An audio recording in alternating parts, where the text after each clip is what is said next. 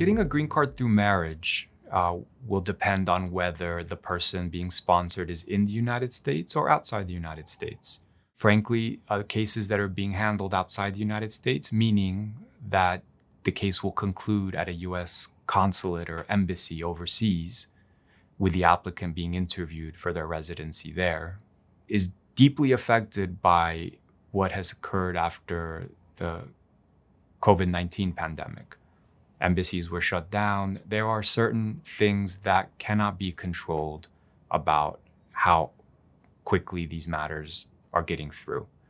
So if the applicant is overseas, you should expect your case to take a couple years to be resolved. If the applicant for a marriage-based green card is inside the United States, this can vary, but typically you should expect it to be resolved within about a year to a year and a half.